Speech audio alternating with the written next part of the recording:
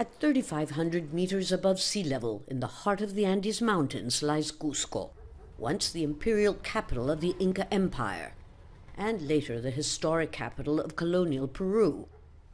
It's the gateway to another World Heritage Site, Machu Picchu, the famous 15th century Inca citadel above the Sacred Valley, usually packed with foreign tourists. But Machu Picchu is now off limits until further notice. Protesters have partially destroyed the only access to the lost city of the Incas.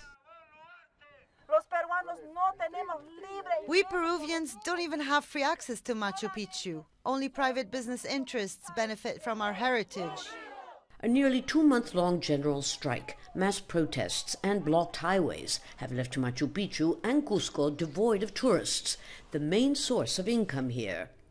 This wall belongs to what was the palace of the sixth Inca, the Inca Roca, and one of its main attractions is this. It's called the 12 angle stone, and it is an example of an extraordinary technique called polygonal masonry. And it's one of the reasons why tourists come here to see this, except that now there practically aren't any. Hotels are empty and losing millions. This has been a terrible blow. With the events that we're witnessing, the occupancy in hotels until March has dropped 90% because of cancellations. Unemployment soared to 75%. Some shops have closed under threats from strikers. But Don Mariano's shop that sells handmade shoes is still open for business. We don't sell anything anymore. We have to pay a lot of rent. The staff is on strike, and there's no tourists from North America and Europe. We run into women who make their living by offering tourists to take photos with their baby alpacas.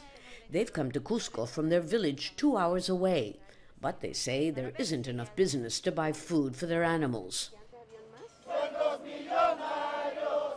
Peru used to receive 2 million tourists before the pandemic and the strike. But now these indigenous protesters are the only ones who arrive here in large numbers. We want the president to resign, to leave, and for new elections to be called. That's the only way we will get back to normal. But there's no sign that either the president or Congress will meet the protesters' demands, while one of the world's most attractive tourist destinations sinks into despair. Lucia Newman, Al Jazeera, Cusco, Peru.